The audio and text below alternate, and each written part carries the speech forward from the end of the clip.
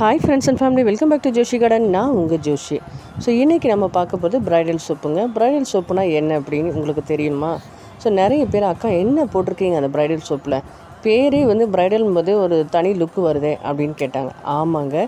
இந்த சோப்புக்கு நான் யூஸ் பண்ண சோப் பீஸ் வந்து கோட் மில்க் சோப்புங்க. ஸோ கோட் மில்க்குன்றது ஆட்டுப்பால். ஆட்டுப்பாலில் செஞ்சுற சோப்பு வந்து வேறு லெவலில் இருக்கும்.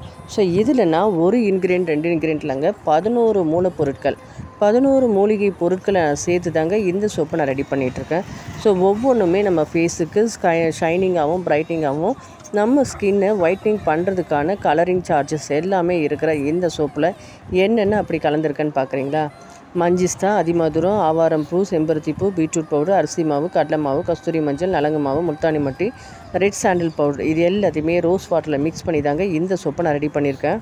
இந்த சோப்பு வந்து ஸ்க்ரப்பராகவும் நமக்கு பயன்படுங்க. ஏன்னா நலங்கு மாவும் அரிசி மாவும் கலந்துருக்கிறதுனால அதில் வந்து கொஞ்சம் குறக்குறப்பு தன்மை இருக்கும். ஸோ அதனால் நம்மளுடைய ஃபேஸை வந்து சூப்பராக ஸ்க்ரப்பிங் பண்ணி கொடுக்குங்க. இந்த சோப்பு நம்ம போட்டு குளிச்சோன்னா நிஜமானவே பிரைடல் லுக்கு வரும். அதனால தான் இந்த சோப்புக்கு நான் பிரைடல் சோப்புன்னு பேர் வச்சுருக்கேன். உங்கள் யாருக்காவது இந்த சோப்பு வேணும்னா மேலே இருக்க நம்பருக்கு வாட்ஸ்அப் பண்ணுங்கள்